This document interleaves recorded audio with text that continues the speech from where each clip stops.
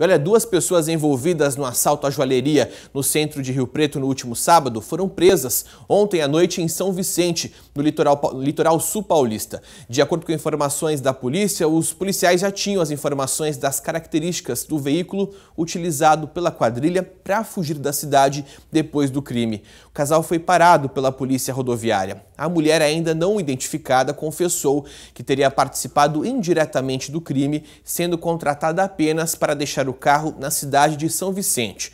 Já o homem não confessou participação no crime. Dentro do veículo, a polícia encontrou algumas joias que pertencem à loja assaltada. O casal será ouvido em Rio Preto. Só para você se lembrar, o tiroteio deixou dois agentes da Guarda Municipal feridos e um adolescente de 17 anos morreu. O grupo invadiu uma joalheria e, quando os agentes chegaram, um dos criminosos atirou contra eles. Na fuga, houve mais disparos e a bala atingiu né, esse adolescente que eu falei para você que morreu no local. A polícia segue com as investigações. Os dois guardas municipais continuam internados e se recuperam bem.